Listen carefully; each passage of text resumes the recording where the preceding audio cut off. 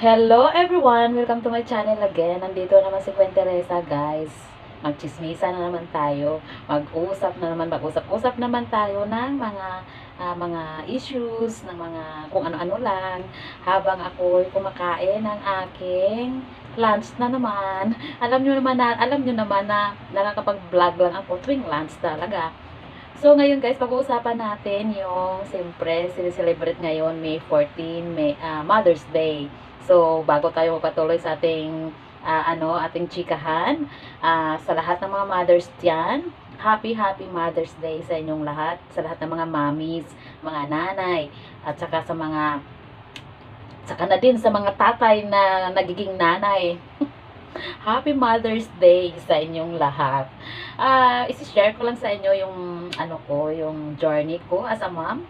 Ah, nagkaroon ako ng anak na ah, at the age of ah, 21.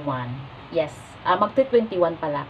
So nagkaroon ako ng anak at the age of 21 at saka at the age of 23, 24 ah may pangalawa na akong anak. At saka at the age of 28 tatlo. At saka at the age of 30 31 yung pang-apat kong anak.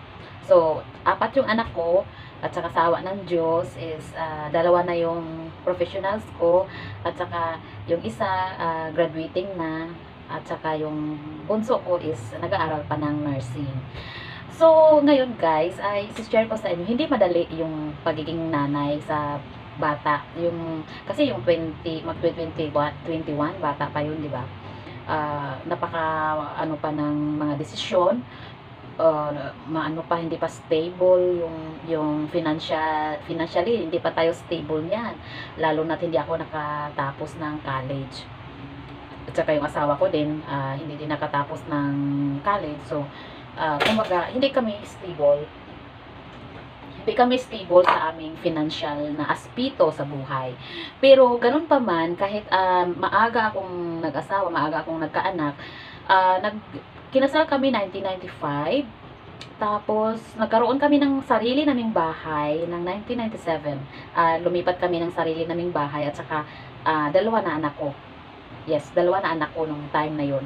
Kasi pinanganak ko yung uh, panganay ko 1995 tapos 1997 uh, nanganak din ako ng ano ng pangalawa bagong panganak ako na lumipat kami sa bago naming bahay so uh, yung gusto ko lang i-share na pag kahit mo kahit ano pa tayo kahit bata pa tayo yung pagiging mom as as as long as uh, ginagampanan natin ng maayos uh, hindi hindi ko nakikita na yung uh, ano, yung problema. As long as pag nandyan na, uh, tinatanggap mo ng kus, yung buong loob. Yung tinatanggap mo yung obligasyon na pagiging nanay. So, share ko lang sa inyo, hindi madali yung ano ko, yung journey ko kasi nga yung mga anak ko din mga hikain, super hikain talaga. Tapos naalala ko pa nga dati na uh, nung lumipat kami sa bahay namin, yung bagong bahay namin, wala kaming kuryente, wala kaming tubig, tapos yung sahig namin lupa pa. Ah, yung bahay namin uh, sulit pero parang lumipat na kami na hindi pa tapos. Uh, ayoko kasing makitira sa sa biyanan ko, ayaw ko din makatira ng matagal dun sa parents ko. Gusto kong may sariling ano na. So, nangyari, lumipat ako na may mga maliliit na bata na wala akong kuryente, wala akong connection sa tubig. Ibig sabihin, nag-iigib ako ng tubig. Tapos, ayun, para medyo ma, ma unti-unti kong maisaayos yung bahay namin. Nag-aalaga pa ako ng baboy. Wala akong kuryente niya na, pero nag-aalaga ako ng baboy. Di ba ang hirap? Mag-iigib ako ng, ng tubig panglinis dun sa kulungan ng baboy. Tapos, nangunguha ako ng yung, yung mga parang gabi, gabi-gabi na, gabi na ano na, uh, ina, tinatagtag ko yan. Tapos, uh, nilaga ako. Tapos, ihalo ko dun sa, sa pagkain ng baboy na binibili doon sa ano, haluan ko para medyo madami. Yung ganun, naranasan ko yung ganun. Naranasan ko yung doon sa tinangkis. Uh, iwan ko kung alam niyo sa sa Bisaya, mayroon yun eh, yung bori na ginagawa siyang tinangkis sa amin yun eh. Iwan ko kung ano sa Tagalog yun. Naranasan ko yun. Naranasan ko yung pumunta sa dagat na manguha ng kabibe. Ganon. Ang dami kong naranasan nung, nung unang ano ko pa, ng pagiging asawa at saka nanay. So, hindi madali. Pero, ah, sinisikap ko siyang mag-sink in sa akin na ito na eh, hindi ko na ito, hindi ko na ito mabawi may buhay na akong ah, dapat alagaan, may buhay na akong dapat ah, pagtuunan ng aking mga ah, sakripisyo na aking pag, pagsusumikap ng ganun. So, hanggat sa ah, sa awa naman ng Diyos, ah, napalaki naman namin sila ng mais hanggang nagtrabaho ako ng abroad. 6 years, magsi 6 years old pa lang yung yung bunso ko nung nung umalis ako ng bansa. Hanggang ah, ngayon is ano na siya ah, magna 19 years old na siya. 19 19 years old na siya. So dala, sa awa naman ng Diyos yung mga anak ko ah, kahit malayo ako sa kanila is maayos naman yung pagpalaki ko sa kanila. Hindi naman sila nagbibigay ng problema. Y- ah, instead yung yung anak ko na panganay kahit ah, naiwanan ko siya ng medyo maaga ah, nagiging scholar pa siya ng ng college from first year to fourth year. Tapos yung pangalawa ko naman ah, okay naman siya sa school kahit kahit maraming problema hindi naman natin maiwasan na may problema tayo lalo na sa financial pero nakatapos pa rin yung anak kong pangalawa. So ang, ang ngayon is ah, kahit may asawa na yung panganay ko eh wala pa naman silang anak. So nakakatulong pa din siya sa akin doon sa mga kapatid niya nag-aaral pa. Ah, dalawa na yung professional ko. Sawa naman ng Diyos. Yung dalawang professional ko is may mga trabaho na din. So medyo nakakatulong na din sa akin. Tapos yung ah, pangatlo kong anak kong lalaki is ah, graduating siya ng marine engineering. Tapos yung bunso ko is ah, first year college siya ng nursing Ah, so ganyan guys Ah, yung pagiging nanay natin lalo na pag nandito tayo sa ibang bansa hindi madali napakahirap. At alam nyo, nandito ako sa ibang bansa, tuwing, tuwing pupunta ako ng mga lugar na magaganda, tuwing kakain ako ng mga pagkain, talagang maano ako, yung magigilty ako ba, may isip ko na, sana makapunta sila dito, sana maranasan nila ito, sana makain din nila ito, yung ganon. 'Di ba? Yung nanay tayo eh. Tapos pag pag medyo may makita kang ganito ganyan, bilhin ko 'yan para sa anak ko, bilhin ko 'yan para sa anak ko. 'Di ba? Ganon tayo. So, ang hirap mahirap, mas mahirap para sa mga nanay na katulad ko na OFW na malayo tayo kasi 'di ba iniiwanan natin yung mga anak natin tapos nag-aalaga tayo ng ibang bata dito. So hirap ng ganon. So hirap ng pakiramdam. Pag may lagnat yung anak natin sa Pilipinas, wala tayo. Tapos may, may, may mga sakit yung mga alaga natin dito sa sa ibang bansa. Alagang-alaga natin kasi nga natatakot tayong baka may mangyari doon sa alaga natin, 'di ba? Ganun kahirap sa sa pagiging nanay, lalo na pag OFW ka. Super hirap. Ah, hindi mo matatawaran yung pakiramdam ng nanay na malayo sa anak. Tapos, nakakalungkot pa yung iba, 'di ba? Nagtatrabaho dito tapos malayo sa mga anak. Lumalayo yung loob ng mga bata sa nanay kasi nga malayo. Wala wala yung nanay nung lumaki yung mga bata.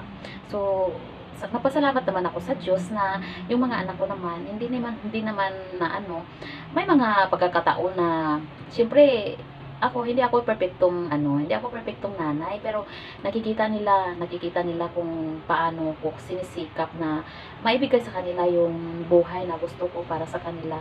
At saka kaya nga nagpapasalamat ako sa Diyos na sinuklian din nila na nag, nag ginagalingan din nila yung pag-aaral nila kahit wala ako sa tabi nila, pinapakita din nila na yung mga sacrifices ko is hindi mawawalan na mawa, ma, hindi maano ba, hindi masayang yung mga sacrifice ko dito sa ibang bansa.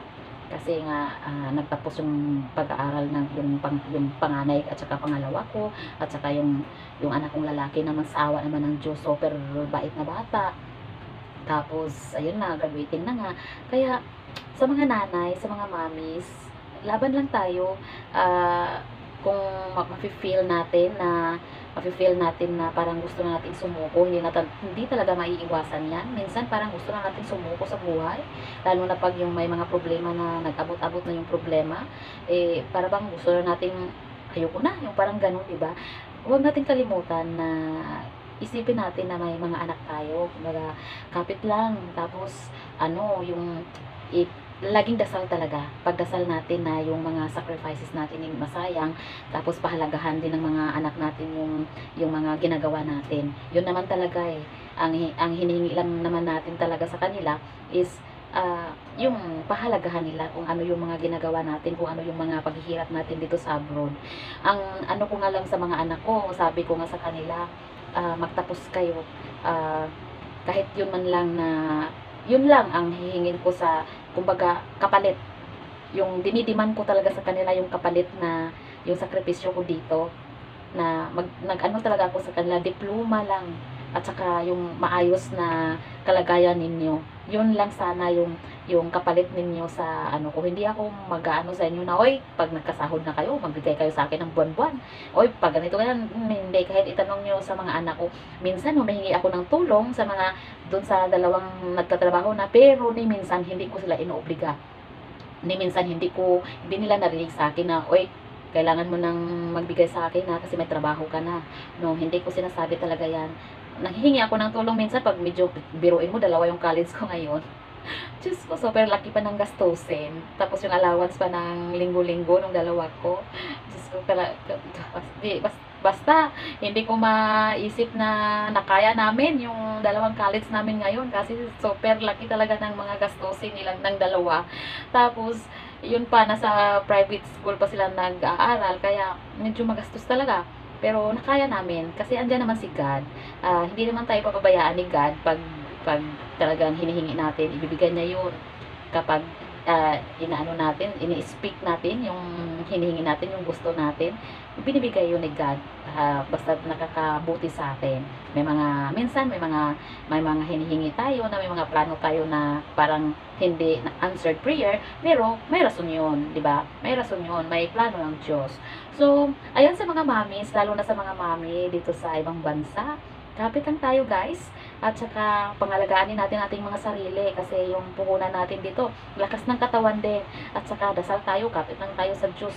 Ah, balang araw, mararanasan din natin na mag-for good na tayo, nakasama ang ating mga anak, ating pamilya.